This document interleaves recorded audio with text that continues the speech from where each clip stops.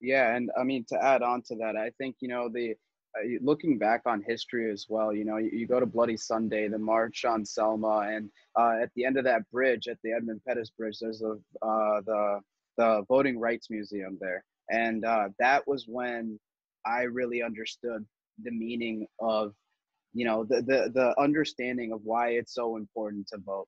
And to continue on that, when you said we as the people, I think about the preamble we, the people of the United States, meaning the country, the government, the entity belongs to the people.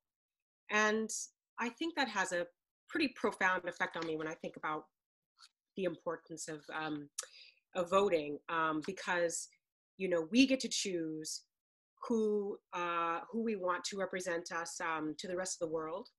We get to choose who comes up with um, policies concerning um, you know, social policies, economic policies, we decide. And, you know, that is the only way, the only way we can is through voting, the only way. And that is why it is so important to do it. And, you know, regardless if, if you feel you're affected by it or not, you know, um, you are.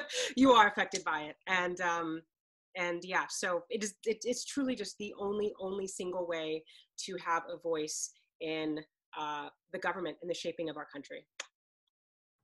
Going off of what stephanie says i think we could agree um, that we get to choose who lives who dies and who tells our story by who we can vote who we vote for